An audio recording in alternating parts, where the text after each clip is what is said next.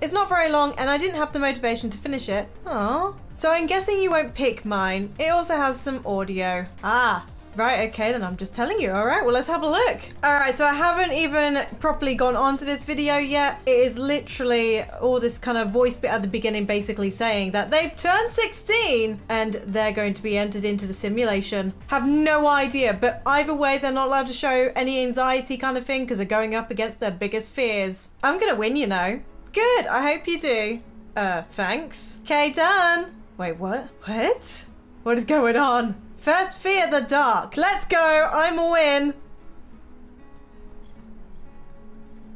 Oh, what? Okay, next fear is heights. Oh my gosh. Oh, yeah, pretty. Heights. Oh!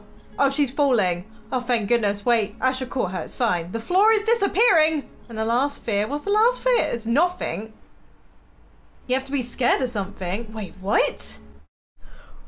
Oh, this is weird. Wait, so that other girl doesn't have any fears? That's crazy. Oh, wait, what? Oh, okay then. Yeah. Oh, okay. Are you okay there, Jordan?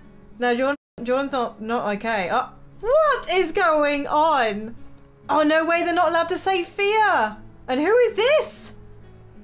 What is this place? Okay, now they just got teleported somewhere else. Oh no! See... Wait, are they trying to hit what isn't there? What is going on? Test one success. I hate tight spaces. This should be easier. Not for me. What? Okay, what is happening? What is actually happening? Okay, everyone's just appearing. Don't trust it. I'm good. I sound weird, but I'm... Jordan! Wait, what?